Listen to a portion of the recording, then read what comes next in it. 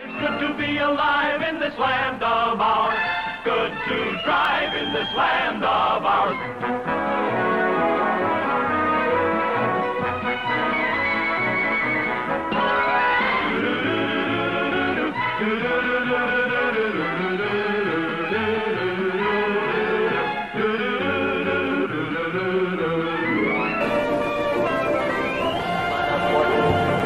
Hello, Canada hockey fans in the United States.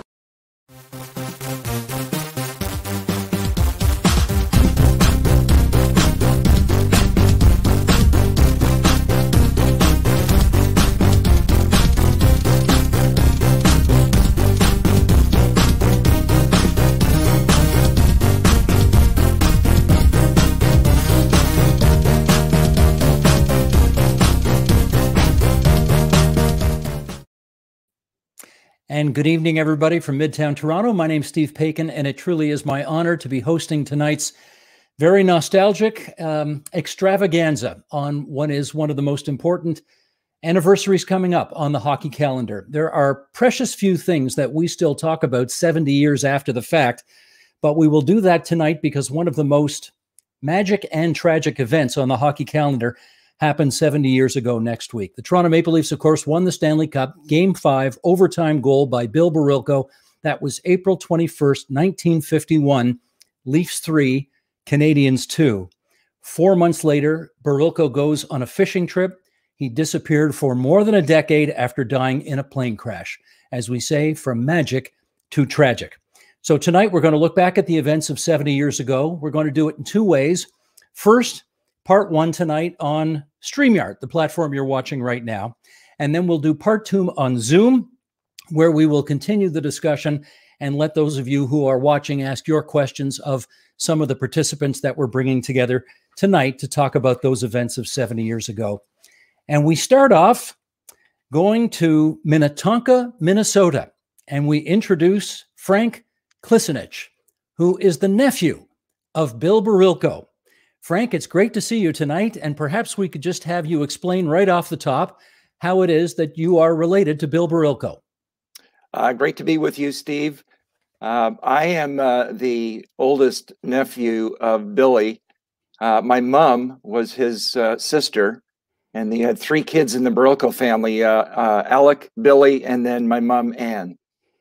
Now, and she passed away in 2013, and she said to me, Frank, uh, I want you to represent the family on all things Barilko, and that means I've worked very closely with Kevin, and uh, I'll try and do my very best. Kevin, of course, being Kevin Shea, Kevin who wrote Shea. about a decade ago uh, the definitive work on your uncle. Let's leave hockey aside for a second, Frank. Can can you tell us maybe some memories about what your mother thought of Billy, as you call him, as a brother? Never mind a hockey player, but as a brother. Uh, my mom, uh, being the youngest, looked up to her two older brothers, and uh, she thought they were both terrific people. Uh, of course, Billy and Alec went on to play professional hockey, starting out, out in California in the Pacific Coast League. She just thought they were just two great brothers.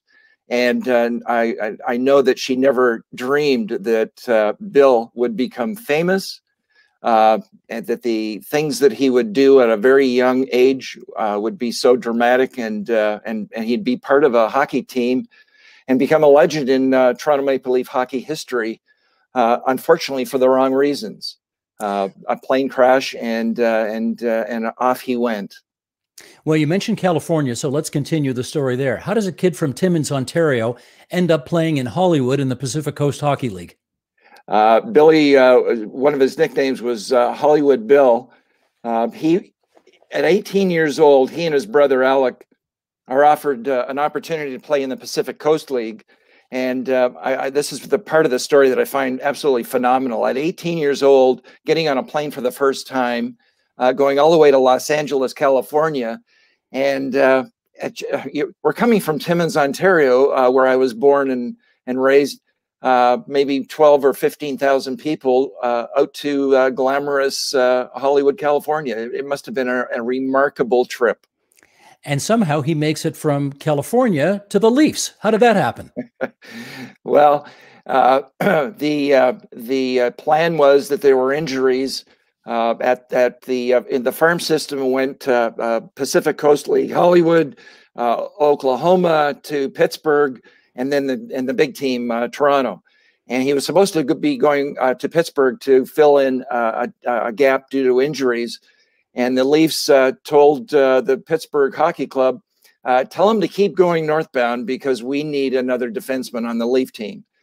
and he uh, i don't know how he got there but it was uh, he flew to pittsburgh and then uh, trains planes and automobiles uh, he landed in toronto and uh, there he was uh, a, a, kid of, of 19 years old with a big team hmm. going to ask our friend glenn dreyfus to roll some video here because mm. your uncle's nickname was bashin bill barilko and we're going to take a look at some of the hits that he was uh, reputed for. Let's put it that way. There he is. There's Bashin Bill right there. He was a pretty tough customer, eh, Frank? Uh, he was a great, uh, tough player. Uh, one year he led the league in penalty minutes. Uh, I he, Billy was one of those guys that uh, no one was going to push the Toronto Maple Leaf team around, and he was famous for his hip check. And you can see this clip right here. If you got your, if you had your head down, and Billy would line you up, and you were going to be on the ice. Now, your uncle scored five playoff goals in 47 playoff games over almost five seasons with the Leafs. And amazingly, here we are 70 years later, and we are still talking about one forgettable, unforgettable goal that was made unforgettable in part because of the guy who did the play by play. Here's how it sounded 70 years ago, next Wednesday. Go ahead, Glenn. Foster Hewitt. Watson comes back fast at center ice, steaming down the left wing into the corner, shoots and hits the side of the net. Here's right in front of Meeker. Meeker went by the net. Sutter's out in front.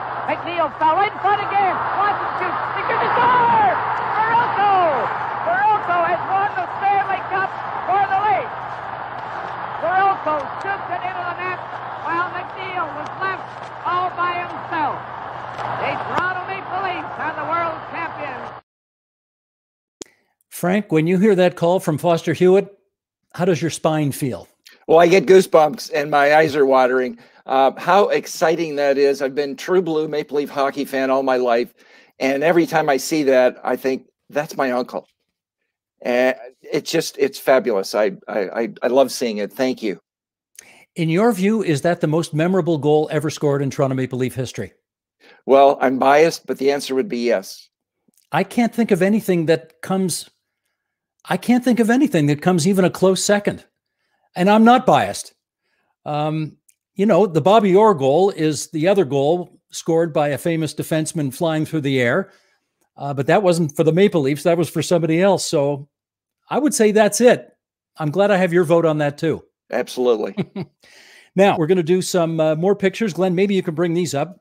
Here's from the winning dressing room after the game. And your uncle Frank, he's on top of the world when he sees all this, right? Oh, undoubtedly. And he's all of uh, 24 years old. And they have won the Stanley Cup. And that was his fourth cup in five years, right? That is correct. There he is. And the big kiss coming in. Look at that. And one of the remarkable sidebars of Bill Barilko, uh, he played tough. He played uh, defense. He blocked shots. He checked fearlessly, and he didn't have a stitch. He, there was he doesn't have any cuts. He had all his teeth.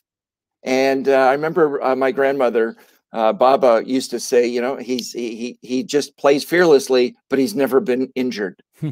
Bit like the Muhammad Ali of his day. Muhammad was fairly pretty as well. That's correct, and hmm. a good-looking young man, that uh, Bill Barilko. Mm-hmm.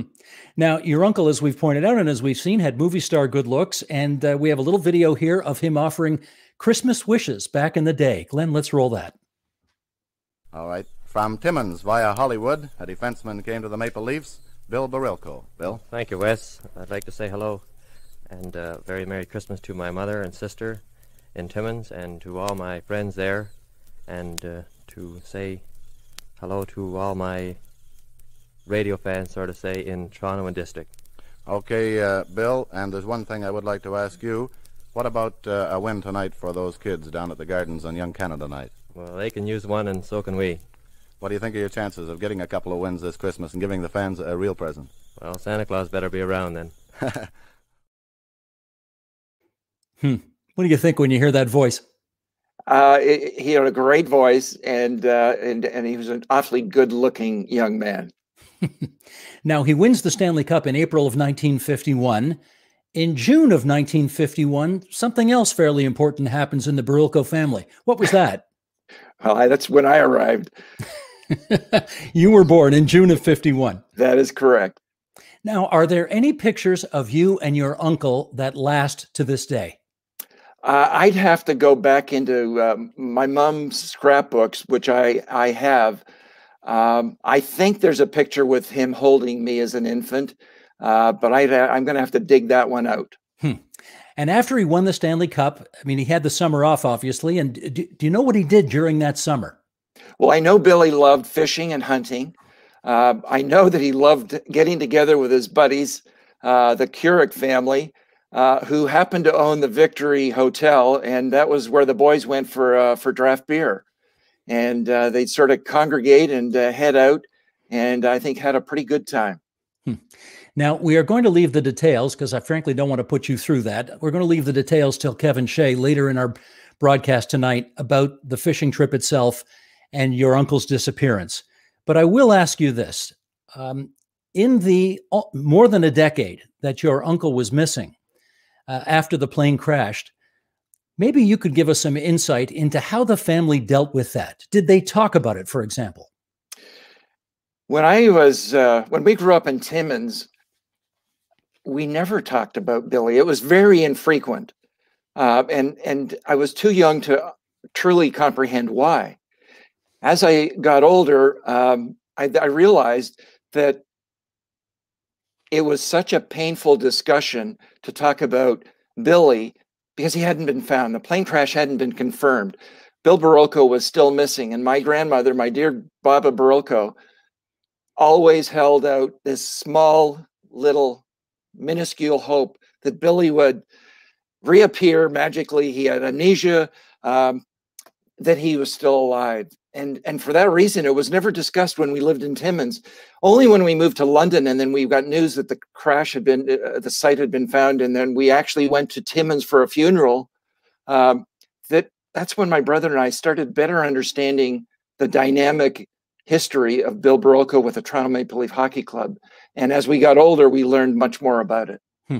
now you would have been in london ontario what like a kid of 11 years old or something when the news Correct. came in yeah, absolutely. Do you remember it? Oh, I remember going up to the uh, up to Timmins, and it was a. I mean, there was there were hockey players at the funeral that were my that were my idols. Um, and and Stanley, and there's Allan Stanley, uh, and there, you know, there we are standing at the end of the uh, at the, at the at the coffin, and it was again one of those surreal situations. We're putting a coffin into the ground, but there's no body in it. There, hmm. Billy wasn't there, but we were going through the ceremony, and that was a cathartic experience because it was something we needed to do as a family to get past the fact that Billy was not alive, and uh, we, was, was, we were having a funeral for him. Did did the certainty of the news that you now knew he was dead, did that give the family some peace finally? Yes, it did. Absolutely. Hmm. It, um, I know it gave my grandmother peace uh, that she could finally come to grips with. There was no one one hundredth of a percent that he was still going to magically reappear. So it allowed us to have closure on something that was quite painful. And what do you think that decade of not knowing did to your family? Uh, it was just a strange situation where we, I, I, I again, when I got older, I, I, then I started appreciating and understanding the why. Uh, and then as we got into the the 70s and the Toronto Maple Leaf Hockey Club started recognizing alumni and recognizing some of the history in a more meaningful way, especially in the 80s. That's when the story of Bill Barilko became much more meaningful. Mm-hmm. Well, we should remind everybody here that uh, you know Bill won four of those five cups. The Leafs were a hell of a dynasty in the 1940s, and then yes, he were. disappeared and they didn't win the cup again for another 11 years till 1962, coincidentally, the same year they found him, they found the remains. And I presume over the years you have considered how eerie that is that the team would have won nothing until the mystery was resolved. Until they found that plane, plane crash site, the Leafs didn't win the Stanley Cup.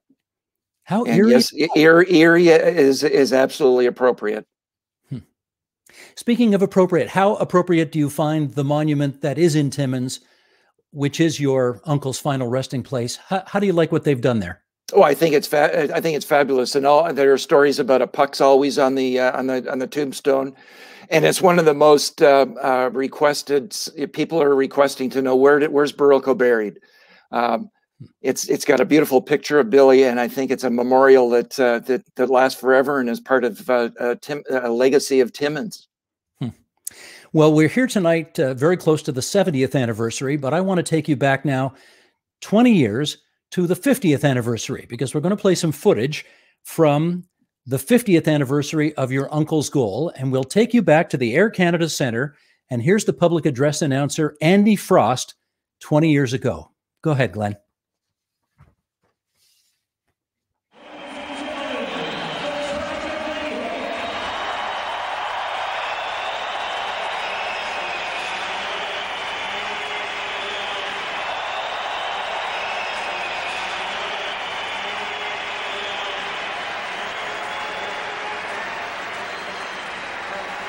Tony Finley, Gord Sinclair, Rob Baker, and Gord Downie are pleased to present to Lynn and to Sid Smith, on behalf of the Toronto Maple Leafs, the handwritten lyrics to 50 Mission Cap, along with the hockey card that inspired the song.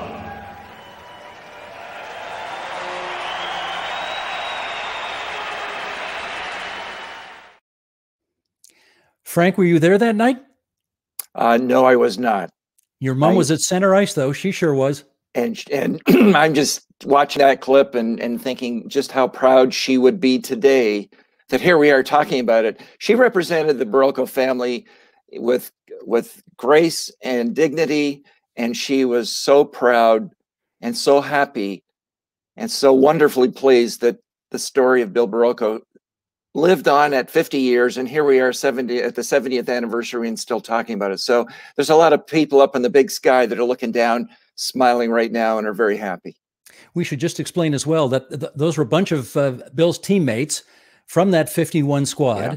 at center ice, along with the Tragically Hip, with the handwritten and framed lyrics as penned by Gord Downie from the Tragically Hip. And I wonder how how influential do you think that song, the 50 Mission Cap, has been in keeping the legacy going? Oh, enormous. Um, we're grateful and uh, to the Tragically Hip and Gord Downie and, and the members of the band for for that song. Um, it it brought the story of Bill Barilko to a to a, a new generation, and and it made it alive and and and and having the banner in and Maple Leaf Gardens and then becoming Air Canada Center and now Scotia Scotia Bank. What the Tragically Hip did was to continue the story and uh, and and it's just it's remarkable. Yeah, there was a time in Maple Leaf Gardens. I know, of course, in the new building, they've got lots of banners up there, but for the longest time, it was five and six for Ace Bailey, and that was it. I What'd your family were- think of that? those were the only two permanently retired numbers. Um, and then they started honoring numbers. And a couple of years ago, I was at the ceremony where they permanently retired a lot of numbers. For example, 27 representing Sittler and Mahovlich. Uh, but we were extremely proud of the fact that there's our there's Uncle Billy's five memory. That memory will never uh, uh, go away. It's always going to be part of the uh, Maple Leaf Hockey Club for every fan to look up in the rafters and see. There's a story about the Tragically Hip playing a concert in Mississauga, and your mother. Well, why don't you pick it up from there? My my mom calls me and says, "Frank, are you? Do you know about a, a band named the Tragically Hip?" And I said, "No, I don't." And you know, at this time, when she's asking me, uh, we're living in Mississauga. We've got three kids. We've got an active household, and I'm not exactly keeping up with new rock and roll bands. So I said, "Mom, I uh, I have no, I've never heard of them." And she said, "Well, they made they wrote a song about Billy." I said, "Oh, really? What's it called?" uh, 50 mission cap. I said, What's that name got to do with Bill Barilko? And she said, I don't know, but I'm going to go over to the Hershey Center. They're playing a concert and I'm going to, I'm going to go and introduce myself. I said, Go get him, mom. So later that day, we heard the story. She, she knocks on the, on the door at the Hershey Center. It's well before their concert. And uh, the guard says, uh, Yeah, who are you? He says, Well, I'm Bill Barilko's sister and I'd like to meet the tragically hip. And she said, a lot of people would like to meet the tragically hip. She said, I'm Bill Barilko's sister. They wrote a song about him. He said, I'll go back and check. Well, lo and behold, she gets brought into the Hershey Center. She meets the band. They tell her, come on back for a concert. And she said, no, I got to go and make home um, uh, dinner for my husband. so she didn't stay for the concert. She did not. No, she went back to the condominium in Mississauga, and uh, and so she we told she told us the story later and eventually of course uh, she got to know them in, in a much more meaningful way. And, and the, the ceremony the 50th ceremony where they were all attending was absolutely spectacular. It sure was. We're going to look at some pictures now of your mother at the hockey hall of fame where of course she was a volunteer and uh, responsible for i guess or overseeing uh, there's the skates of your uncle. Yeah. That's the display.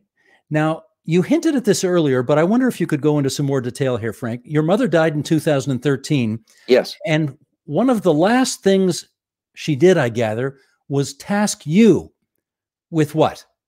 Well, she said, Frank, um, the Barilko name is going to continue to be part of the Ma- Toronto Maple Leaf Hockey Club. And I want you to have most of the memorabilia. My brother got some of it, but all the scrapbooks some of the uh, trophies, the one over my shoulder uh, is the 47-48 uh, uh, gift that the players were given. It's a replica of the Stanley Cup. But she said, Frankie, I want you to take care of this.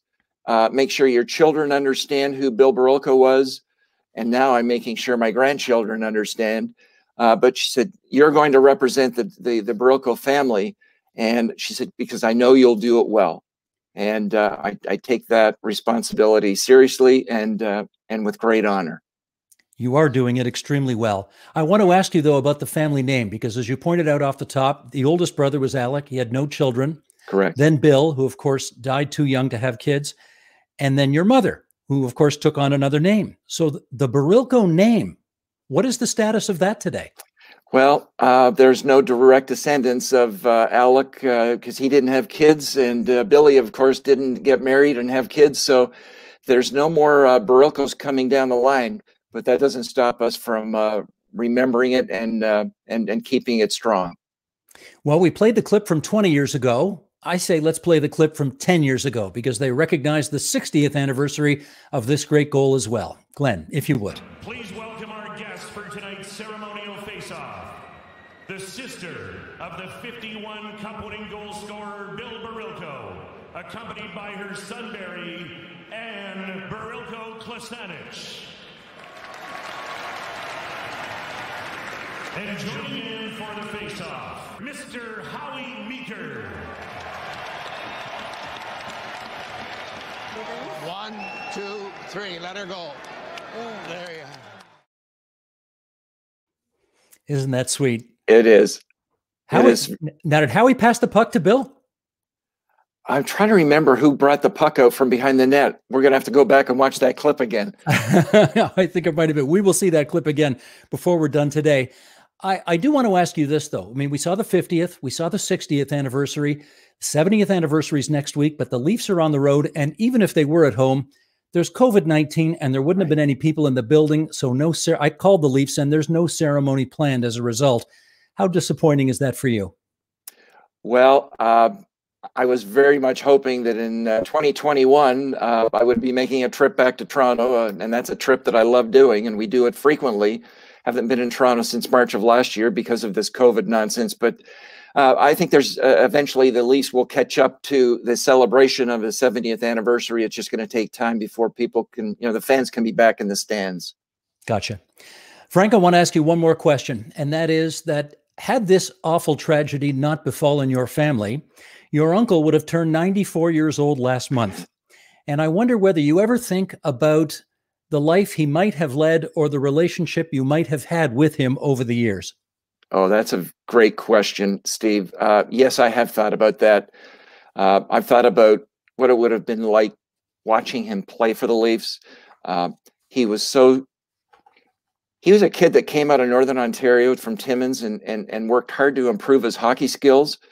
Uh, when he got there, he became a a really uh, he became part of the team. And and as I recall from Howie Meeker, uh, they the, the captain was Teeder Kennedy, but the heartbeat of this team was Bill Barilko. Uh, I would have loved to have watched him continue his career. I think the Leafs would have won a few more cups. It wouldn't have been as long as 62. And uh, I would have loved seeing him retire and and what he did with his career and uh, and and seeing him just uh, wherever he whatever he was going to do with that. Um, I, I I wish I would have had the opportunity to get to know my uncle. Frank, we are so grateful to you for spending so much time with us tonight and and doing honor to your mother's last wishes, which were to keep this legacy going.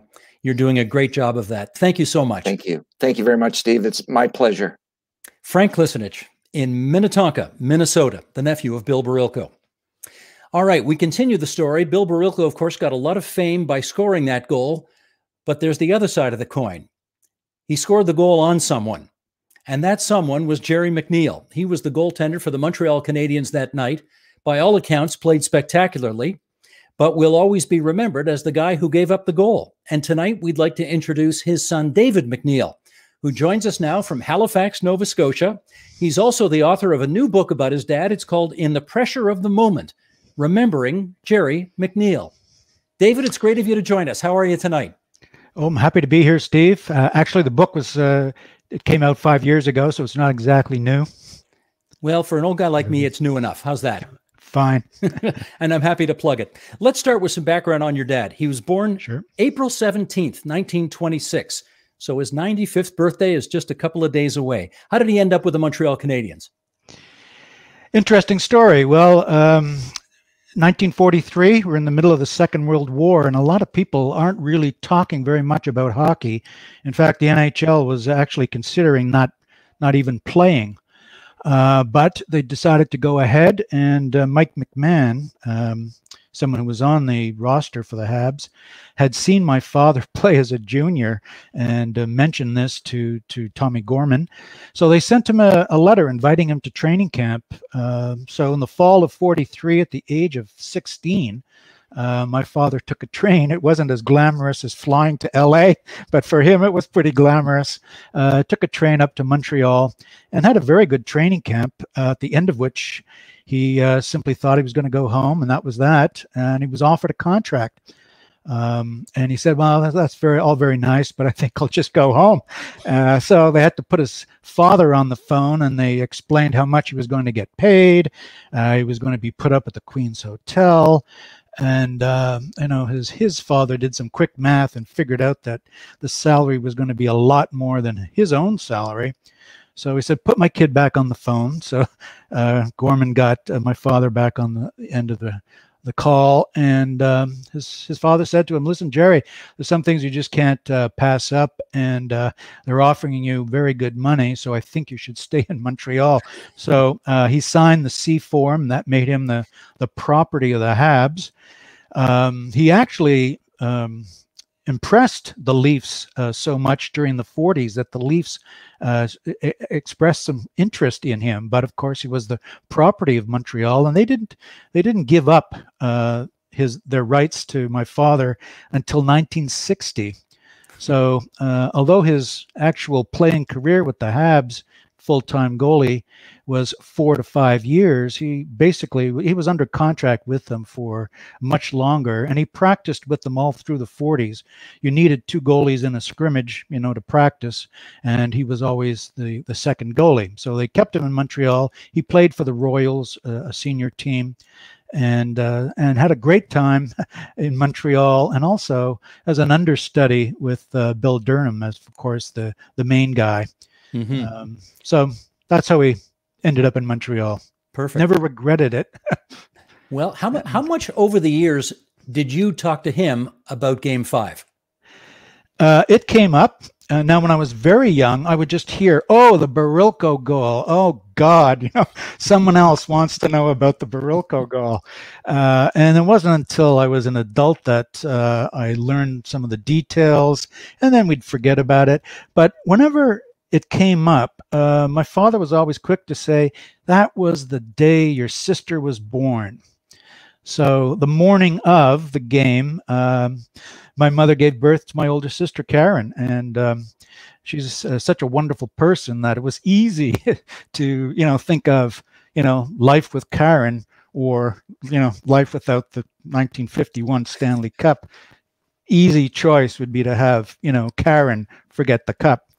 So April 21st, 1951 is not the day of the Barilko goal in your household. It was the day of Karen's birth. That's right. I Yeah. got well, it. Okay. It's still the Barilko goal. That's not going away, but um, there was a lot of good, you know, that um, that we associate with the day as well. For sure.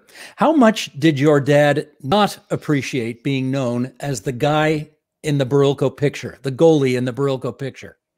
Oh, um, that he well he he grew to quite enjoy actually, uh, but in the interview that he did with uh, Alan Abel, he did uh, reveal that the first few years he found it a little rough, uh, but uh, you know.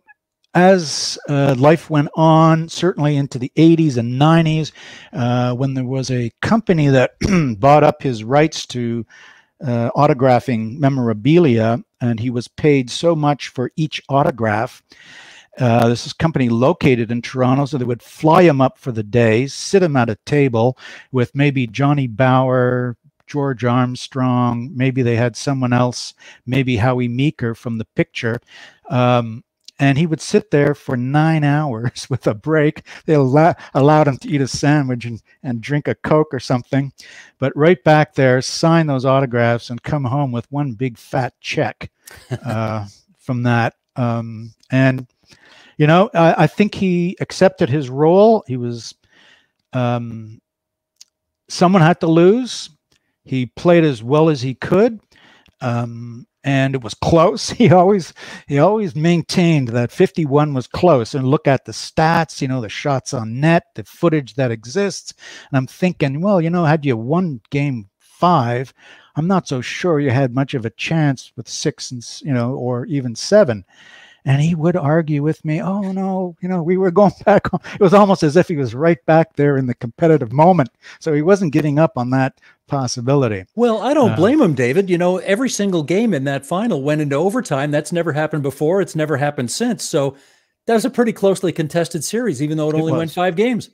Yeah, it was. hmm Now, you referenced an interview earlier, and I think we've got a clip of that standing by. This is from 2002. Your dad is 76 years old, and he's talking about that game. Okay, Glenn, let's roll it. Well, it, it seems to be sticking with me all my life because every so often, up to these days, I get uh, requests for autographs and in the mail, and it, it just keeps bringing it back all the time. Uh, the other day, I got a picture from the reverse angle that I was surprised to see, and uh, this buck was still in the net. The puck was still in the net. How, how did he feel? I mean, you said initially he wasn't thrilled about it, but he came around to understanding that uh, when people asked him for an autograph, it was okay. Yeah, absolutely. In fact, it was an opportunity for him to brag about what he had done in the semifinals against Howe and Company. Um, so, no, he uh, he didn't mind, and um, you know, uh, good for him. I think uh, it um, it was unfortunate. I mean, you know, it. Uh, we're talking about, of course, Bill Barilko and my father, but if you know, it's a team sport, and Howie Meeker almost scored the winning goal. He almost had that wraparound, uh, and of course, there were a lot of people on the, my father's team that contributed to the success that they had up until that point. Um, I mean, for him, it was always a team game, and one thing um, I remember is he said they never They never spoke about a lost game, a goal.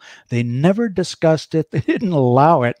And of course, in the 1950s, there were absolutely no replays of any kind, right? So they're not watching footage of it. They had really no idea of what had happened.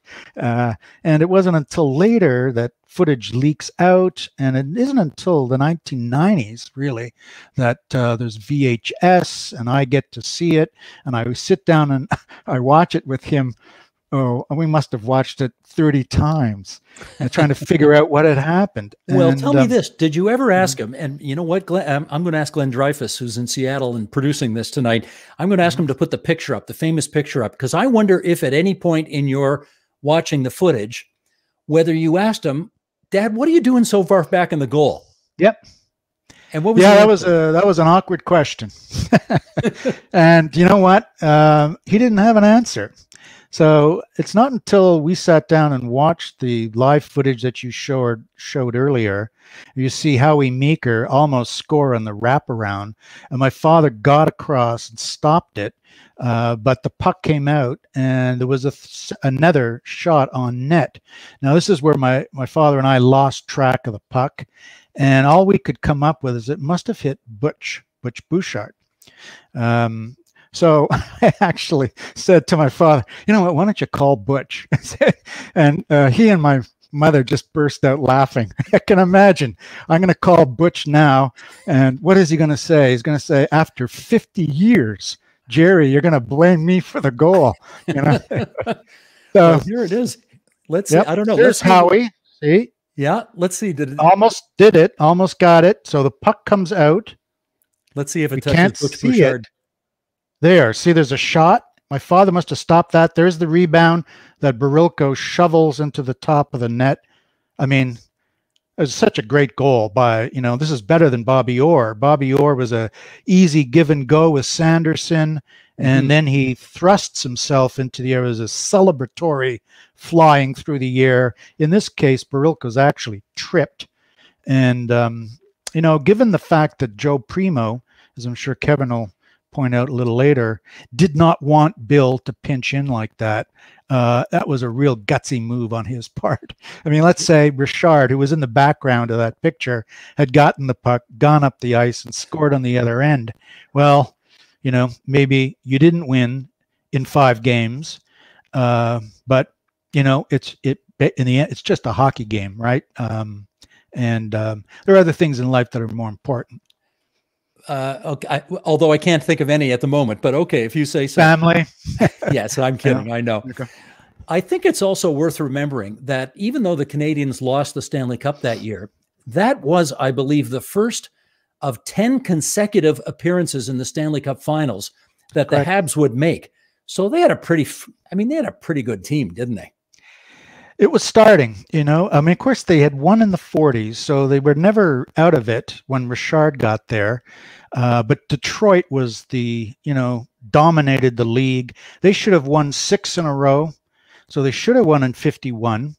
Uh, the Habs beat them in the semifinals. And of course, they should have won in 53 as well. Boston beat them in the semifinals. But otherwise, I mean, they ran the table, you know, between 50 and 55.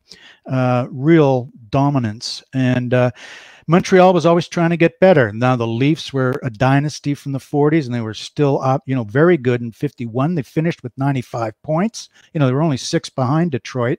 Uh, Detroit was, you know, after that, where they were used to winning the league by 30 points. I mean, they just really dominated. So uh, success against Detroit was um, was the big measure. All the accounts I read of that game five suggested that your dad basically stood on his head in the first period, which allowed the game to be as close as it was. Do you guys ever talk about that? Yeah. Uh, I remember him saying uh, more than once, you don't always win when you play your best. And he felt that 51 was his best playoff uh, performance. Uh, so I would, ask, well, you know, what's better uh, to win or to play your best? And he would, he'd come down on winning. You know, ultimately it's a team sport. Uh, you win and you lose together. And, uh, you know, it's, it's great to have individual uh, you know good performances that's all very well but it's hollow when you don't really win the prize Um, so it was one of the things he learned. You know, you uh, just because you play well, it doesn't mean you're going to be successful as a team. Mm-hmm. When it was discovered that Bill Barilko had in fact died, did you ever talk to your father about Barilko's death? Oh yeah. Uh, well, you, know, there were books written about it. He had the books. Um, so definitely we spoke about. It. In fact, my father loved to fish, uh, you know, and uh, I think Bill was as as good a defenseman, as good a fisherman as he was a defenseman, apparently.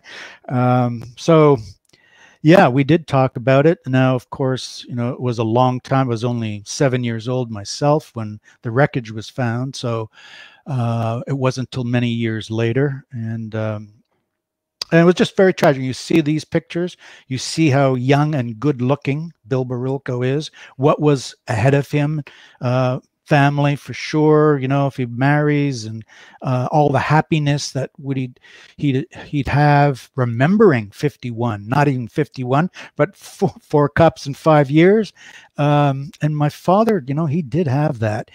Uh, he was always a Hab, and uh, he always had friends who were Habs, and they'd get together. It could be Panama City, Florida, you know, and they'd remember the old days. And a good part of his happiness came from, you know, remembering what you did when you were young and successful. I think it's it's true of many professional athletes. It's become some sometimes a, a it can be become uh, problematic when your life peaks at age 25 or 26. You mm know, what do you do the rest of the way? It's a long denouement uh, in a lifetime. Well, speaking of those teammates, he was a pallbearer for Rocket Richard at, at the Richard funeral, which, as we know, was one of the the legendary funerals in Quebec history. What did that mean to him? It was uh, he recognized that he, it was so much bigger than he could ever understand. In fact, he came down to Halifax immediately afterwards because his phone wouldn't stop ringing. He says uh, he told me, "I'm so tired of saying the same thing over to hundreds and hundreds of reporters." Um, uh, so it, it, was absolutely huge, and um, again, I think he just accepted his role. Um, he certainly had a relationship with Richard uh, as the, the, you know, he was the prankster. Uh, my father was the guy that got Richard into trouble with McLean, the referee, back. Well, it would have been the same year, uh, 51. Uh, so Richard thought of him as the, you know, the the troublemaker. He called him something else, a disturber. I won't use the word, but uh, and they played that right up until the end. Uh, you know, in the last few years, they'd go down to Kenny Mosdell's cottage in Vermont, and one time they were, uh, you know, getting off the boat, and uh, and Gerry was my father was ferrying the people back and forth, and he Richard was the last guy left on the boat, and he just sort of left them there and said, "Okay, Rocket, you're on your own. You can swim to the shore." Uh, and you know, Richard was screaming, "McNeil, always the shit disturber. you know, come back here and get me." so um, they had a lot of fun together. David, I've got one last question for you, and it has sure. to do with that sweater over your shoulder, that jersey. Yep. Now, is that the real deal? No, no, no. That's the sweater that Ron Corey uh, got for the players back in the 90s, as he did uh, the Stanley Cup ring that I am wearing right oh, now. Wonderful. Can't really see that closely, but Ron Corey arranged for all of this. There were no Stanley Cup rings in the in the early 50s. Uh, my father got a tray, which uh, has disappeared mysteriously. He could have sold it, uh, but anyway, the sweater was given to him then, and it was given with the number 30 because, uh, of course, number one had been retired for Jacques Plante. And my father, you know, I said, yeah, well, you know, Jacques was great, and I recognize all the records, but damn it, I was one before Jacques Plante, you know. So he says, fine, dad, we'll get the 30 taken off and we'll put the one on it and you'll be number one again. So um, I don't wear it because I don't feel, you know, I'm worthy enough. But every once in a while, my daughter, uh, my youngest daughter, Trish, will wear it to a game or an event. I think that's great. Um, my son-in-law once wore it to the Bell Center, so uh, you know it does get worn. And I even had a goalie wear it once, and uh, you know pickup hockey that I play, and that didn't go well. I didn't think he he uh, really played as well as I thought my father would have played. But uh, you know, I love to have the jersey. I have his stick on the other side of me, so yeah, I do have a little bit of memorabilia, and um, and uh, I don't know where that will end up, but um, you know, we'll see. Hmm. There's the portrait. That's an Ozzie Sweet, I swear, from Sport Magazine, February 1951. And uh, Ozzie, of course, would be famous for the similar portraits of Richard, Howe, Plante, Bobby Hull, and Gordie Howe. And uh, Ozzie loved the red, you know. so those are all red sweaters. That's a Um, great portrait. It is, yeah. It's uh, David, we can't thank you enough for joining us tonight and helping to remember your father and the role he played in this most important goal in the history of the Toronto Maple Leaf franchise. So thank you for Sure. joining us. happy to have been here. David McNeil from Halifax, Nova Scotia. Well, let's continue our look down memory lane here at the 70th anniversary of the Barilko goal. And our next guest, how do we describe this guy? Well, he's a former goaltender, uh, formerly with the Toronto Maple Leafs and the St. Michael's Majors before that. He was a scout and a general manager for the Maple Leafs. And he attended game five of the Stanley Cup final in 1951 on the 21st of April. He was a 16 year old kid at that game. And let's find out how Gerry McNamara ended up being at Maple Leaf Gardens that night. There's the man. Hello, Gerry. How are you tonight? Hi, Steve. Very well. Thank you. It's great to see you. All right. So you're a 16 year old kid in 1951. You're a student at St. Michael's College School. How did you end up at that game? Well, one of the lucky things that happened, I wasn't playing hockey that year. And what the Maple Leafs did was they give players that they brought down south passes. And one of the players at St. Mike's wasn't interested in going a game, so he gave me his pass. And a good friend, Tommy Lemon from Kirkland Lake, uh, he had a pass from the Maple Leafs. So we used to go to every Saturday night game. How And is we- it possible that a that a guy who had a free pass to go to Maple Leaf Gardens for Game Five of the Stanley Cup Finals isn't interested in going? I don't know. I just know that I was I was happy to go. Uh, Tod Sloan played for the team. He's a Falconbridge boy, and uh, of course I was uh, excited for what he did in that game.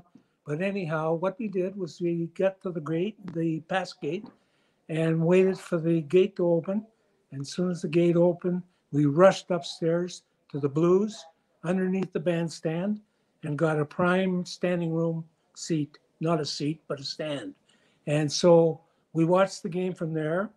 And one of the things that happened in that game that excited me was that Tod Sloan scored both goals and he got the tying goal with less than, I think, 30 seconds left in the third period. He tied the game up.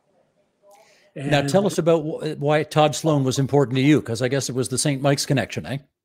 Well, Tod was a St. Michael's boy, but also Tod was a Falconbridge boy.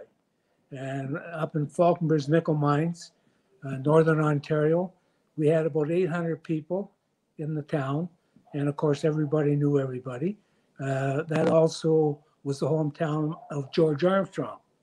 So uh, uh, Falconbridge had uh, an, uh, a reason to be watching that game. Every game you got a chance to see either Sloan or Armstrong play, everybody was glued to their TV. Hmm.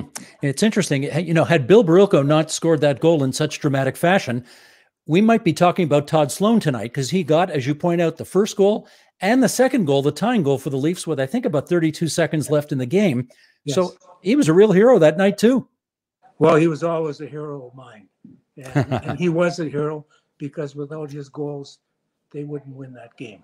hmm Now, given that you yourself were a goaltender, I presume that on that night you were watching in particular Al Rollins and Gerry McNeil do their thing. What do you remember about how they played that night? Well, I remember they were both great. Uh, Gerry McNeil was a great goaltender, and so was Al Rollins. And one of the things about Al Rollins, he was about six foot two, which is how tall I was. And there weren't very many six foot two goaltenders in the National Hockey League playing goal. It was, they weren't like Ken Dryden back then, I guess, right? That Most No, of the goalies were all- small. They were all five foot eight, five foot nine, five foot ten. There were no tall goaltenders. We were Hmm. the two tallest goaltenders. Now, Gerry, as you think back on that Barilko goal in overtime, can you still see it in your head? Uh, you know, it's uh, I gotta be honest with you. I saw the replay because I couldn't figure out why Gerry was down, and after seeing the replay with Howie Meeker coming around, and he fell. He fell on his uh, rear, and he was scrambling, trying to get to the puck and trying to get up. But obviously, you can see that Barilko put the puck up high, and he had no chance. Now, you being a goaltender, I presume you look at that footage and you've got your eyes all over that goalie and you're thinking to yourself, what? Well, I, I would have done what he did. He got to the corner and stopped Meeker, but I would have tried to stay on my feet. And I'm sure Gerry wanted to stay on his feet too, but stuff happens. and as a result, he went down and he had trouble getting up because the puck was coming back at him. And he tried to do the best he could. Gerry McNeil uh, was a really good goaltender. As a matter of fact, in 57, 58, Gerry McNeil knocked me out of a job with Rochester.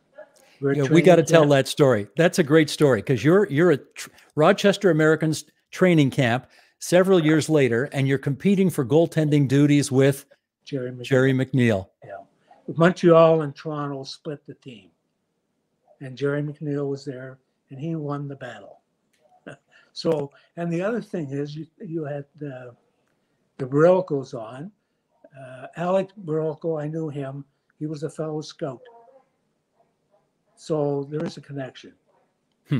When you were at the Rochester Americans training camp in the late 50s, and you're looking across at Gerry McNeil and competing with him for a job, I'm wondering if the 51 overtime goal ever came up in your conversations.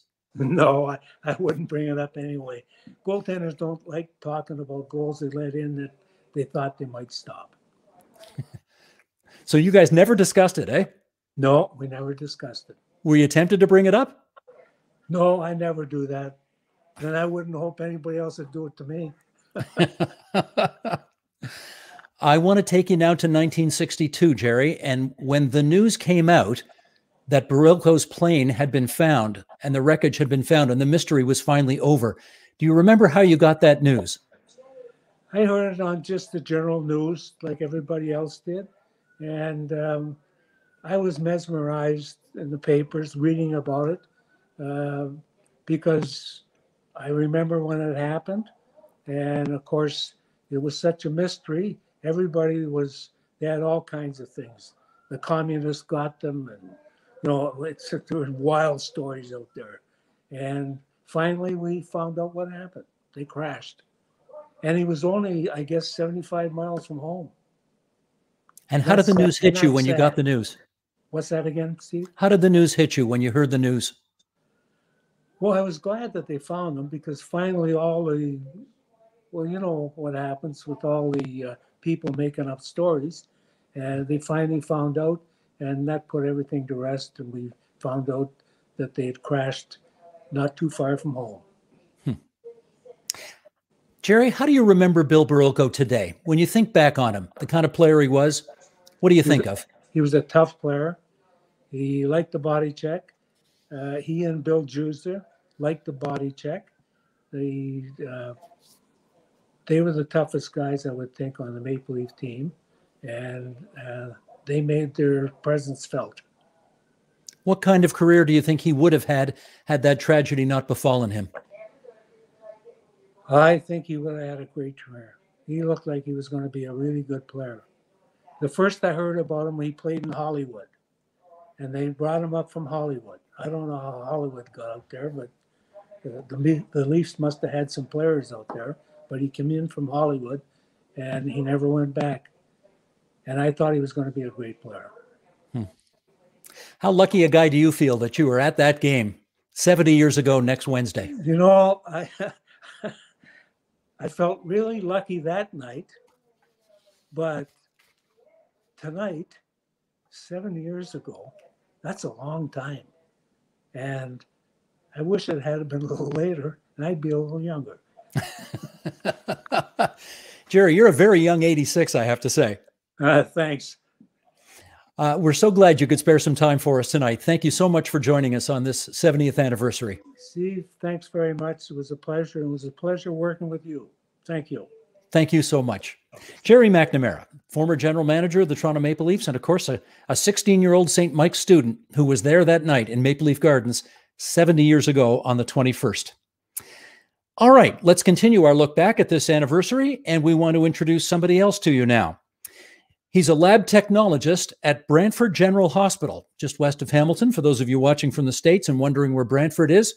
And you're asking yourself right now, why in heaven's name are they having a lab technologist from Brantford General Hospital on this show? And the answer is welcome, Brian Donahue. And the reason Brian Donahue is on this program is that his family has the puck. That's right. Take us back to that night, April 21st, 1951. Your grandfather and your then 16 year old father are at the game. Barilko scores the overtime goal, Brian. And what does your dad do next? Uh, with all the with all the chaos that was going on in the celebration, uh, my father uh, said to his dad that, "Can I go get the puck?" And he uh, he went and got the puck while everybody's celebrating. He went and grabbed it. And uh, on the way over the boards, uh, somebody offered him like 20 bucks. Uh, and dad had said, no, it's, it's I, am going to keep it. And he brought it home. And uh, when he brought it home, uh, my grandfather and him, actually my grandfather, uh, he went and got a trophy made for the puck to sit on. And so the puck stayed at the Wellington House where my uh, dad lived, and my grandfather had the business there. Everybody at Wellington House in, in Hamilton. Uh, and the odd time, or most anytime uh, somebody wanted to see it, uh, Dad would go up to his uh, upstairs to his room and bring the, the, trophy down and show the patron at the Wellington House. Um, and then um, the uh, I first saw it. Oh, that's it, yeah, that's right? it there. Yep, yep. So he made up this little plaque this plaque was made. Yeah, my grandfather made it up, and uh, Dad put the puck on top of it, and there it sat. And um, it sat at our house on Judith Crescent in Ancaster. Uh, and then when we moved to uh, Marine, the uh, the new house, it came with us. But I've always uh, noticed the trophy and the uh, the puck, but never knew the significance and the history behind it, which makes it fabulous, but a tragedy at the same time once you start learning about the history of the puck. Um, so, now, Brian, just to be clear yeah. here, after mm-hmm. the game ended, after the goal went in in overtime, your father actually went onto the ice and retrieved the puck himself from the net. Yes, he did. Yes, and we, uh, my brother Dan and uh, Nicholas, his nephew, uh, did some investigation um, because when my dad had passed away, everybody was interested in this puck. You know, did you want to sell it? Uh, I'll look after it. And so we kind of said, well, let's look into it. And uh, once we started seeing the history behind it, we says, oh, this is uh, Bill Barilko's uh, winning. And, uh, and, and there was further investigation. So they went down to the Hockey Hall of Fame. Um, to uh, to loan it to them, and um, they already had a puck there. So uh, they did further investigation, and uh, my brother did a, a uh, looked at some pictures from CBC, and actually the pictures that were shown today. I was trying to see if that puck was shown there, but um, yeah, it was in the corner, and we had pictures of this lanky 16-year-old man, a younger boy, uh, go towards uh, uh, the net. And that's your and, dad. And we think it was our dad. Uh, hmm. Yeah. But the puck, we do have a picture of the puck in the net. It was understand that the goalie, or not the goalie, the referee had pulled it out. Uh, but if you look at the pictures, the referee goes right by it uh, and continues down the other end of the uh, the ice. Um, but uh, further pictures can show that the puck was actually there as well. So, Brian, uh, let's be super clear about this. The Hockey Hall of Fame in mm-hmm. downtown Toronto has a puck on display Yeah. which says this is the puck that Bill Barilko used to score the winning goal, but you've got the real puck. That's not the real puck. As we understand it, yeah, because the puck that's there, the uh, the insignia on it was uh, supposedly Spalding, and that was um, I got a date here from 1920 to 1942, and we have the puck uh, in the timeline that uh, Bill had scored the winning goal. Uh, so um, there's some evidence there as well uh, that uh, we have the puck of the same caliber of that time period. I'm going to Uh, ask Glenn. Se- I'm going to ask uh, Glenn Dreyfus one more time if he can bring up the puck that you have, and we can see the close-up logo, the one on the left. Mhm. That's that's the puck you guys got, and that's the one with the Art. Ro- you can see under where it says National Hockey League. There's Art Ross's name, and Yeah. the Art Ross logo. Mhm. That was on pucks used after 1950, and that's the one you've got. That's the one we have. Yes, yes. And the other one you can see there is the puck that, uh, as I understand, is sitting in the Hockey Hall of Fame. which they used in the 1940s. Right, right. And the- you can the- see the the puck too is uh, their puck is a little more uh, damaged than our puck. Uh, um, and there was a reason for that. I don't. Uh, Dan would know more about it. He did most of the investigation. Hmm. Um, but um, yeah, it's even that timeline um, is uh, kind of proof that we have the puck of that time. But my dad did say that this is the puck. Nobody can tell you any different. And there's no reason for him to put it on his uh, this puck other than the, the fact that he uh, pulled it out of the net that night, and it was a trophy for him. Like I said, it's like catching a baseball at a baseball game. You know, you're a kid, and it's a trophy, and it's something you keep and, and uh, tell your friends. And that I caught that ball, but he caught the hockey puck. and that, Well, is it- so Is it true your dad said to you and your brother at some point, don't let anybody tell you that we have not got the real puck because we do? We do, yes, yes. He was adamant about that, and he kept it. You know, he, he never bragged about it, but he said, "Yeah, that's that's the puck." Once he had passed away back in uh, 2013, uh, people were coming up and asking about the puck and wanted the puck, wanted to buy the puck, and uh, so we said no. And then uh, uh, we further investigated, of course, and said, "Ah, "We know why they want that puck." So um, so we've we've kept it, and uh, Mark uh, Farrow, um, or Farrow, I'm sorry, is um, he has it now uh, as a loan for um, his display with the um, Barlo- Barilko um,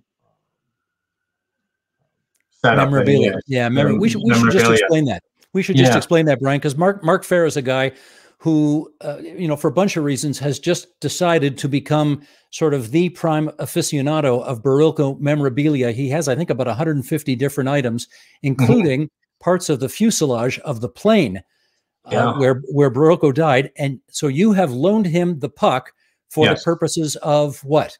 This will be uh, put on display and taken around, and the uh, any money that was raised through this display will go to charity, and uh, that way uh, we can give Bill's legacy um, uh, something uh, valuable for charity, and as well as honor uh, my father as well, and uh, bring um bring a lot of uh, history uh, to the hockey uh, hockey league as well, and the Barilko family. Now, I gather at some point uh, your brother Yes. went to the Hockey Hall of Fame and said to them, "You guys have got the wrong puck.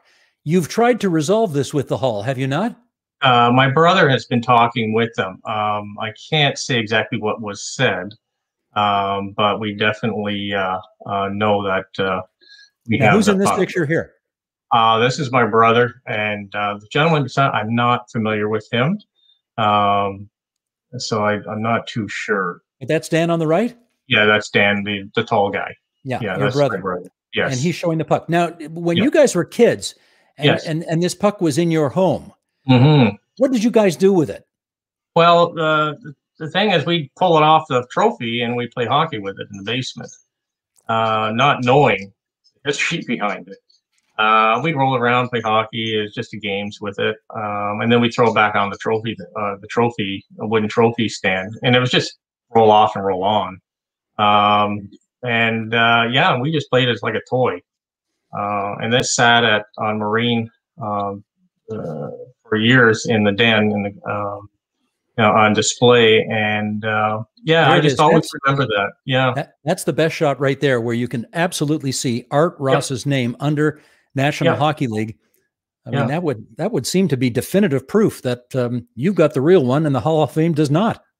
Yes, yes, yes, and uh, yeah. So we're we're standing by that uh, with the information that we have uh, from the uh, investigation that my brother did, Dan, and um, and uh, and Nicholas as well uh, contributed to the investigation.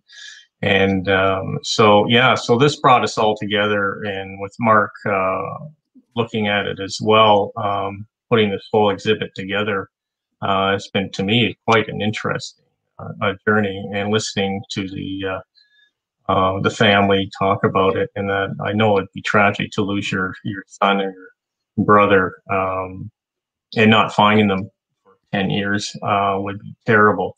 Uh, but the poor guy who's just you know starting out and doing very well young uh, had a lot of potential, and uh, but I think he's uh, continuing his legacy uh, through the puck and through this exhibit that Mark is setting up. Well, Brian, I I mean, I hate to raise painful memories for you and your family here, but the uh-huh. reality is, you lost a brother who was only 15 years of age Yes. when he passed away. Bill Yes. Barilko was only 24 years of age when he passed away.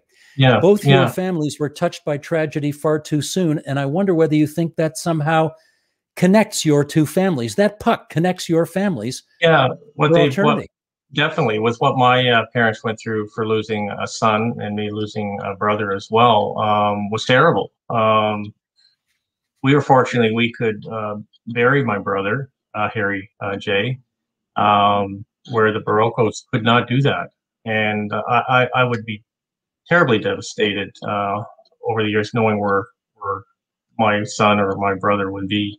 Um, so yeah, I, I've got a feeling at what they've and um, and it's terrible uh, to go through. Uh, I think we grow from it, but uh, yeah, it's it's a tragedy. Yeah, yeah. Brian, it's awfully good of you to spend some time with us tonight here on the That's Hockey my Time pleasure. Machine Thank you. and to talk to us about your family's role in this wonderful anniversary, wonderful and tragic anniversary at the same time. Yes, yes. So Thank you well, so thanks much. for having me, Steve. I appreciate that. Not at all. A great pleasure. That's Brian Donahue, uh, whose dad picked the puck out of the net 70 years ago next Wednesday. Okay, let's continue on. We're going to talk to the guy who, more than a decade ago, wrote what is clearly the definitive book on this whole story. The book was called Without a Trace, which, of course, describes what happened to Bill Barilko in August of 1951 after he went on that fishing trip. And we're delighted to welcome back to Hockey Time Machine the guy who normally does what I'm doing tonight, and that's Kevin Shea.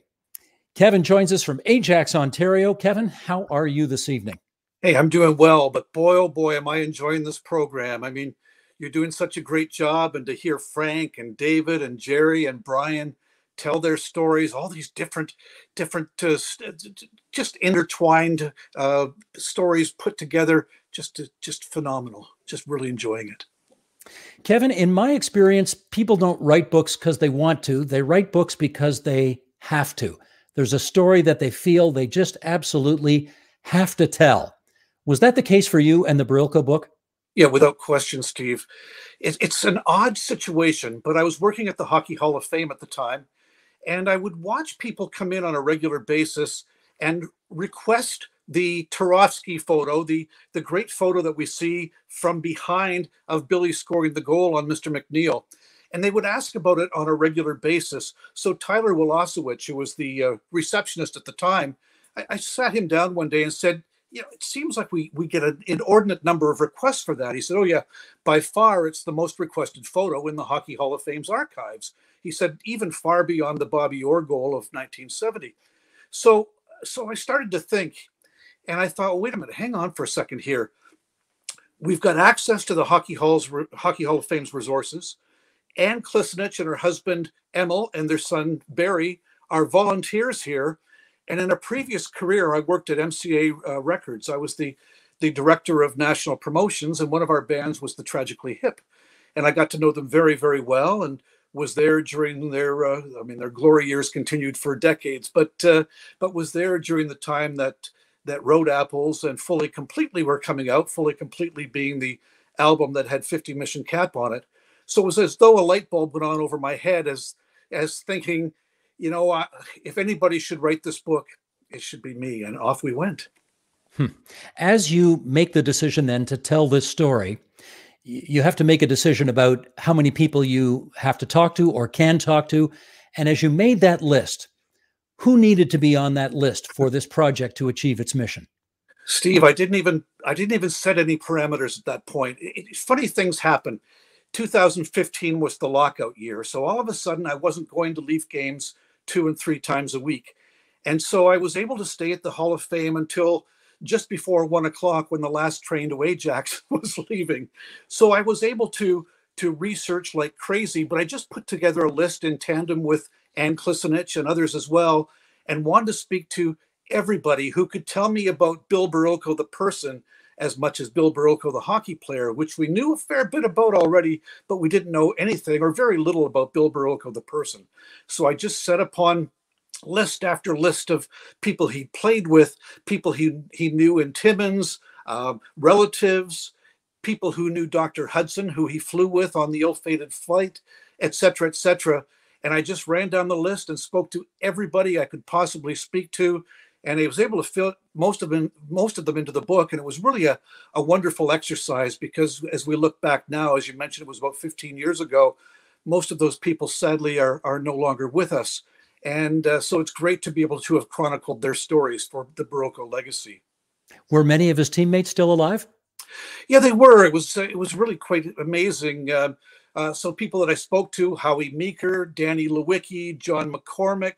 Uh, I talked to Mr. McNeil. Dave McNeil was able, not a teammate, obviously, but uh, Dave McNeil was wonderful to set me up with an interview with his father as well before we lost him. So it was great to be able to to really get a handle on what he was like at the time. Just some of the funny stories that came up that are are not told any longer. But when he first came up to the team, he was at his very first practice, and he was at the uh, at the uh, the rink, and they're they're working away there, and he's body checking his teammates, and they eh, really solidly. And they had to pull him back a little bit and say, "Hey, come on, hurt the opponents, but don't hurt your teammates."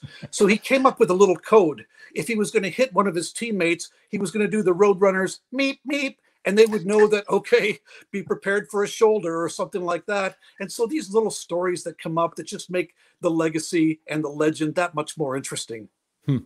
do you know who made the actual decision to put his number five in the rafters well it started at the time of his his loss 1951 conn smythe said during the the pursuit of trying to find the body that no one would ever wear number five again now now curiously he Bill only wore number five during the last season of his uh, his career. He'd worn two other numbers before that, but number five he had taken over from his defense partner Garth Boesch.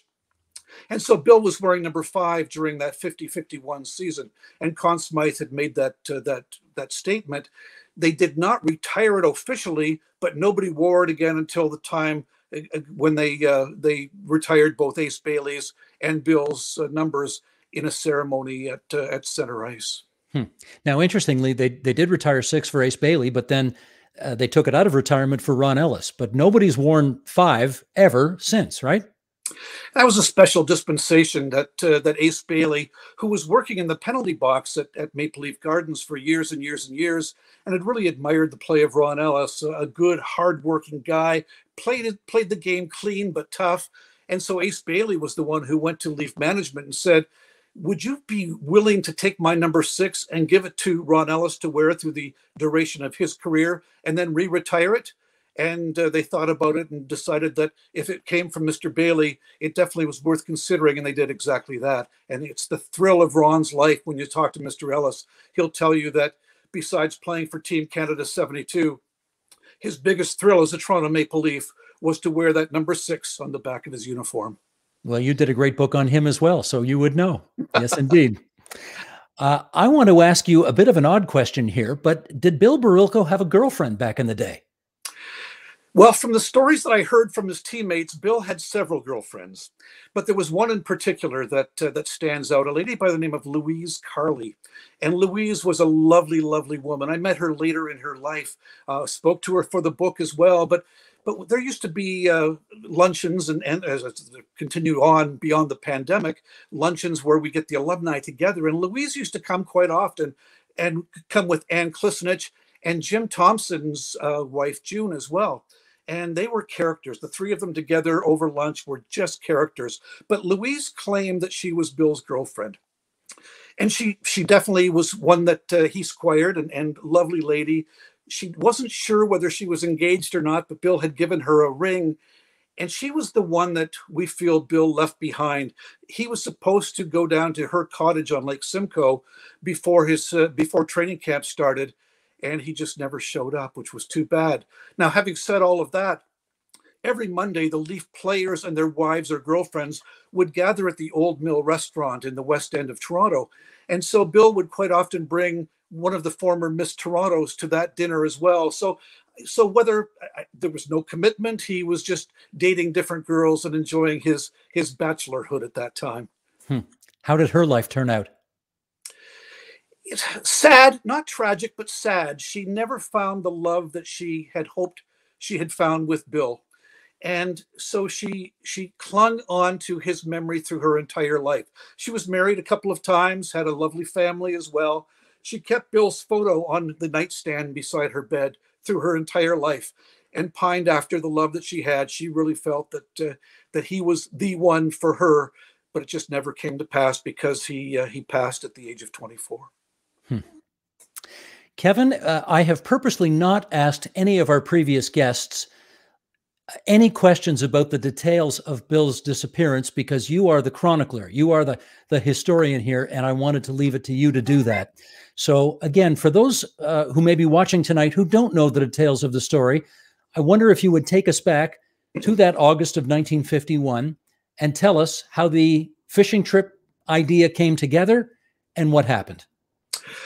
No, absolutely. So there are many people who claim to be to have been asked by Dr. Henry Hudson to join him on this final fishing trip of the uh, of the summer. And uh, so it goes from Allan Stanley, who couldn't make it, uh, Bill Kurek, who was Bill's best friend, uh, Lou Hudson, the brother of Henry, was supposed to go as well. Archie Chenier also claims. So it was one of those situations where timing was such that None of them were able to go. In fact, Lou was supposed to go, and then the plane was too heavy to take off. So he decided to take his things off of the plane and let Bill go on his own. So here they are, and they're making a, a fishing trip plan at this point. Bill loved to fish. The irony here is that he hated to eat fish. So, so here's his chance to go, and they're going to fish for Arctic char, which I'm a vegetarian, so I, I, can't say definitively there, but but apparently are just a wonderful, wonderful fish and and really a a, a favored dish for so many people. And they're going to fly up to just off of James Bay in north of Quebec to go fishing, a place that Dr. Hudson uh, liked to go. So he and Bill decide that they're going to go, and they're going to leave on Friday, August 19th. And I hope I've got that date right. August 24th. Sorry, I better make it right here. Well, this was odd because Bill's mother pleaded with him not to go. Friday was an unlucky day for her because her husband, Steve, Bill's father, had passed away on a Friday. So she didn't like the, the aspect of Bill traveling on a Friday to do anything, let alone go on a plane trip. There's Theodosia. They called her Baba, or, or they uh, called her Faye as well. She's giving Bill a sip of champagne from that 1951 Stanley Cup. So Bill defied her, decides he's going to go after all. And his mother kind of took a cold shoulder to Bill. She didn't want to speak to him at all because he was defying her at this point. Bill borrowed some money from his sister Anne, Frank's mother, and uh, decided to pay for the gas and to help out in every way they could that way. And they decide they're going to take off Friday, August 24th, and head off to Seal River in northern Quebec. Well, they go up there and and uh, they had to refuel along the way they end up there and apparently the, the fishing was outstanding and they filled the pontoons of, of the fairchild 24 little prop plane uh, with fish they're heading back and they have to refuel once again. And, they stop in Rupert's house, which is now called Waskaganish. They stop there to refuel. And while they're there, they had met the gentleman who had fueled them on the way up. And uh, Bill offered him a fish from the pontoon. Dr. Hudson wasn't very pleased with that. He, Bill, just give him a little one. And Bill just, oh, come on. And so he gave him a real nice Arctic char. And, and the young man was just uh, thrilled at that point.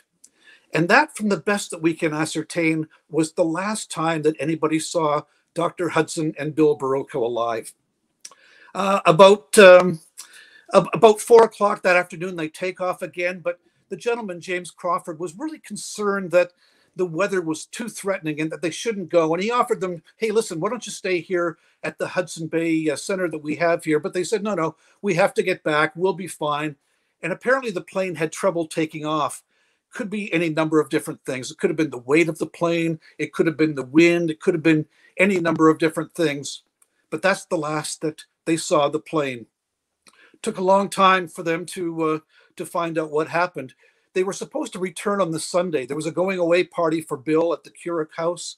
Um, Dr. Hudson had his practice and he was supposed to be there on Monday morning. Allan Stanley was supposed to have some work done and uh, they didn't arrive. Uh, Bill didn't arrive back on the Sunday for the uh, the party, but nobody was all that concerned. They thought, well, whether the weather was bad or whether the fishing was so outstanding that they decided to stay a little bit longer. So they weren't overly concerned uh, when Dr. Hudson didn't come back on the Monday. Again, his his receptionist didn't uh, didn't take it too much. This has happened before with her, so she canceled the appointments and said, "Oh, we'll reschedule you."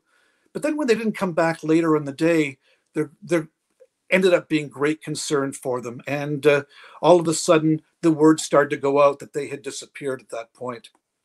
By the Tuesday, it was everywhere. And that's exactly it. It was in all of the newspapers, it was on all the radio stations as well.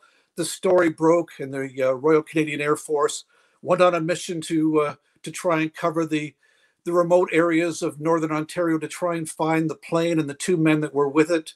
And uh, they didn't have any success. They tried over and over and over again all through that summer.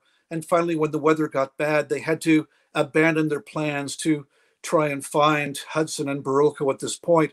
Conn Smythe offered a, a, reward of $10,000 personally for anybody who could give the information that could help them find Bill Barilko and Dr. Hudson. It was an odd summer. Besides Bill Barilko, um, the, the head scout uh, Squib Walker had also passed away, and their former president, J.P. Bickle, had passed away too. So Conn Smythe was apoplectic. He had lost his star hockey player, his star scout, and his dear friend J.P. Bickle as well, all through that summer. The uh, the search continued again year after year, but the hopes obviously diminished and evaporated. Although obviously Faye Klisanich, Faye, uh, sorry, Faye Barilko never gave up hope, as, as Frank so eloquently said as well. And it wasn't until 1962 that they found the remains of that plane in a in a most surreptitious sort of way. They found the skeletal bodies of the two gentlemen still strapped into the plane uh, just north of Cochrane, Ontario. Thank you for that, Kevin. That was a, a, a really good and thorough recitation of what happened back then. I, I do want to ask a few follow up questions about that, though. Sure. Namely, how, how is it? Because I, I, I've read the book, and I, I, the the search they put on to find that plane was intense. How is it possible that over eleven years, nobody ever found it? the forests of that area first of all they didn't know exactly where they were. So they searched over 100000 square miles trying to find any any semblance of an idea. And there were all kinds of false things. Somebody found a, a windshield thought it might be from the plane but it wasn't. But the the forest is so dense and, and it was so difficult nobody could get into that area to even search by by foot it all had to be by air um, the muskeg, the the the the, the squalor of of of uh, land all around that area were almost impossible. They were impenetrable, I guess I should say. And then it was just an absolute fluke. Um, June 6, 1962, a gentleman by the name of Gary Fields is working with a helicopter company, and he's flying around and he sees a glint of metal.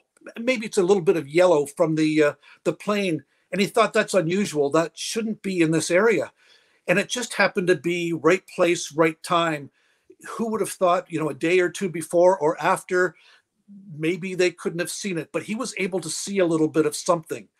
So he went back to his his base, asked about it, and and different people offered different suggestions, including the Baroque Hudson crash as well. He knew the area, so they went back and, and found the area again, and he dropped toilet paper over the area so they could find it a little bit later on. And so it took a little while, but they were finally able to land and march their way in. There was a, a, I guess a little bit of a platoon to use a, a terrible uh, phrase, but who who joined uh, newspaper people, Peter Worthington from the Toronto Telegram, um, you know, flight people, just different people who were involved with with the area. They landed about a mile away, and they had to march through the the the swampy muskeg to get to it, and then they finally found the Baroque Clis, the Clisnich, the Baroque Hudson plane there with the plane going almost vertically into the ground. And they did, in fact, find the skeletons in the plane to solve that mystery. And were the remains of the two men eventually repatriated to where they belonged? In other words, is, is were, were Bill Barilko's remains finally sent to Timmins and put to rest? Yeah, they were indeed. In uh, June of that year, 1962, they were sent off to Timmins to be to be buried. Um, Frank Klisanich, as we know, was just a young boy at the time, but he was at the the graveside of his uncle as well. Several Toronto Maple Leaf players were there, friends and family were there as well to to offer their final respects to the uh, to the memory of, of Bill Barilko. Just to parallel that, Dr. Hudson was having a funeral, not at the same time, but in just around the same time as well, with his family and friends as well. Hmm. Kevin, I uh, I'm going to pay you a compliment here that Frank told me about. Frank said that um, the Barilko Klisanich family regards you as a member of the family because the connection you established with all of them during the course of making the book uh, really established you as a member of the family. I presume you feel the same way too. I'm honored beyond compare to be very candid with you. Whether it had anything to do with the Barilko story or not, Anne Klisanich and her husband Emil and their son Barry. I didn't know Frank at the time, but Barry were dear, dear friends from the Hockey Hall of Fame. We would sit and talk, and and they would ask me stories. I, I, have this great thirst for information about the Toronto Maple Leafs of the 1940s and 50s. So I was able to talk to them about that era of of the Leafs and prior to the dynasty, but also the dynasty as well. And then we really got into it during the uh, the making of the book as well, and and uh, would have dinners at their home. Um, when the book came out, cute story, but I mean, I just love Anne so much and, and the family. We went down to Windsor, Ontario, which is my hometown, to do a book signing down at the chapters down in Windsor. And by the time we got there, the book was already sold out. We were amazed. But my dear mother is so much like Anne, it was uncanny. They sound very similar. They have that same girlish enthusiasm for life, even though they were well uh, well into their 70s and we've lost them both since. But it, it brought me even closer when my mother and Anne found a great friendship as well. Frank, in the meantime, I, I got to know through the years and and talked to him about various things. Anne gave me the privilege of I don't know if it was a privilege. I, I look at it as a privilege but so many people wanted to use Bill's image for one thing or another. Quite often it was hockey cards. And because she didn't know a great deal about it, and I knew a modicum of information, uh, she said, Look, I want you to deal with these things. So if they put something out, and sometimes it was after the fact, I would deal with the, the company and get money for the Klisanich family, which Anne would then share with both Frank and Barry at that time, and Frank and his uh, children as well.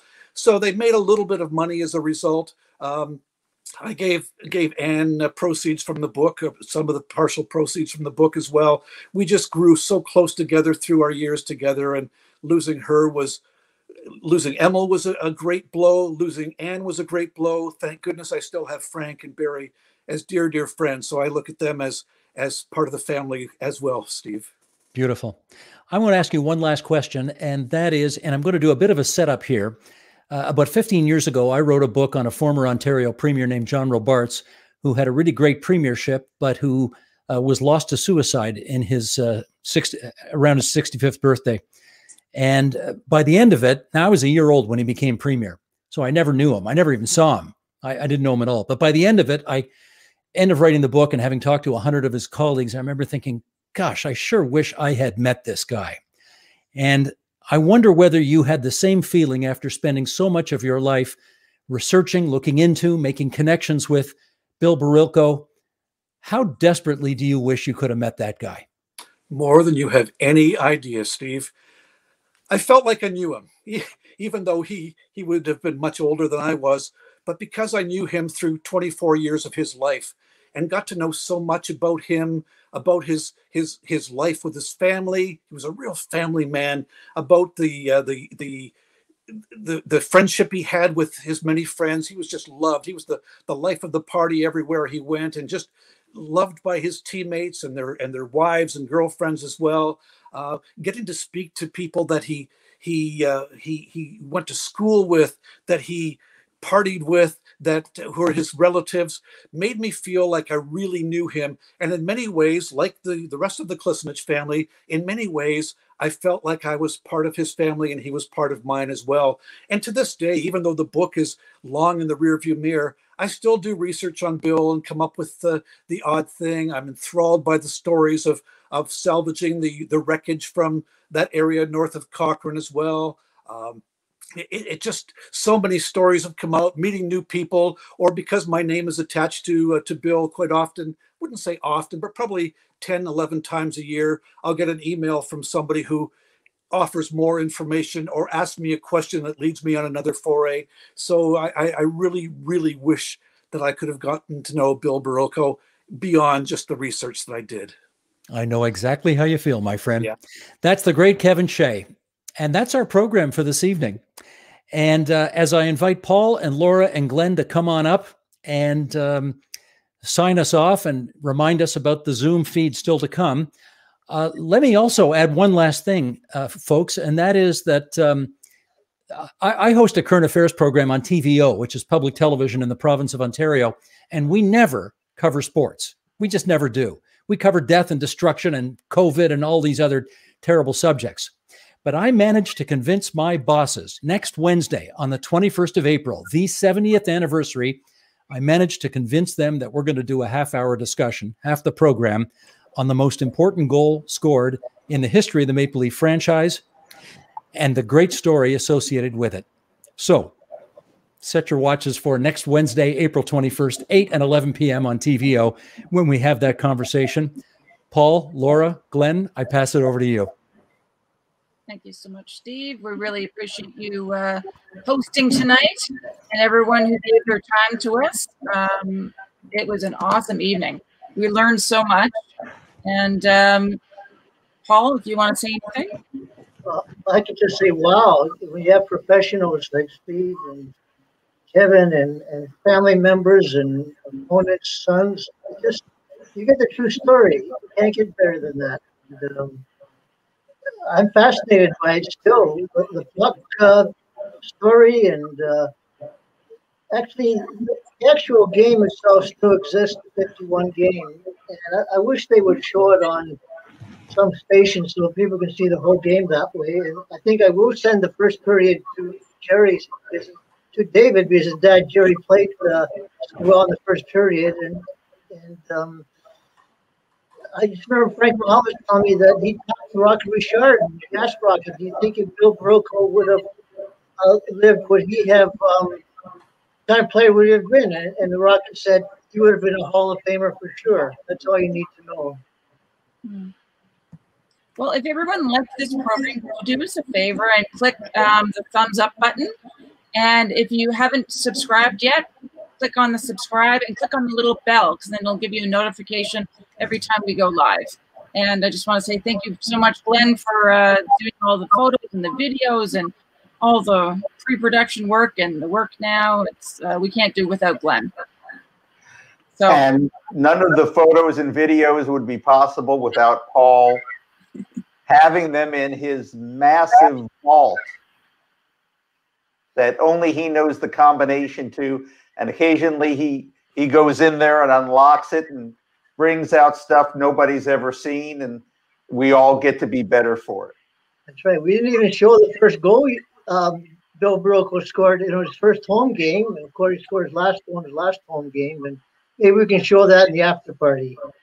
Well, why wait for the after party? Oh, Um, let me see if I can find it now. Here we go.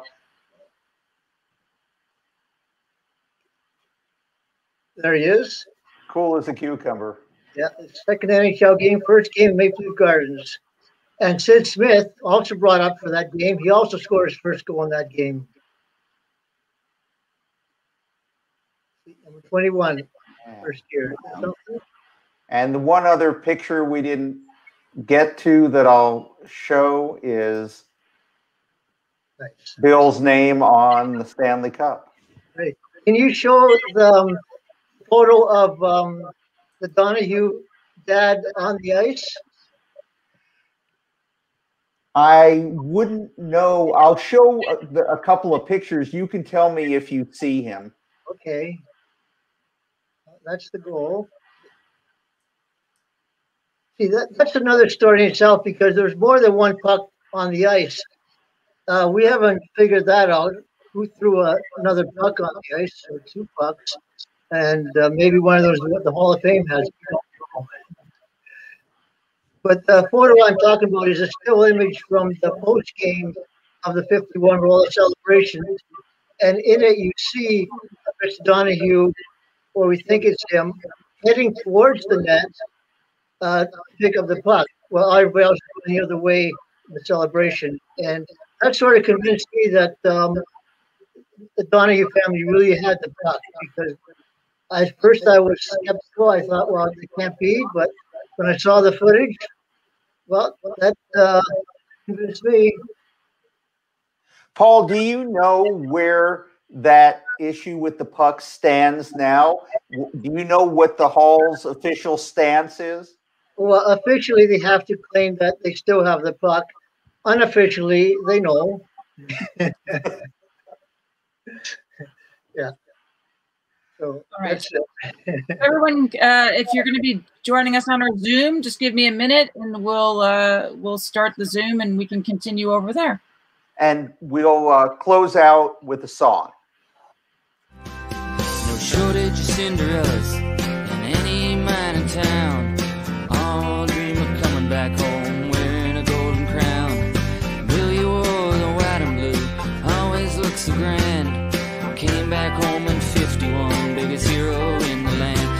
Bill, won't you come on home? Sha la